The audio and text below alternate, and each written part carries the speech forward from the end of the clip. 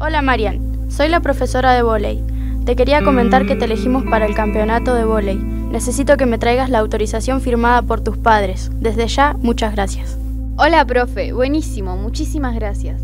Esta tarde hablo con mis padres y les entrego la autorización para mañana dársela a usted.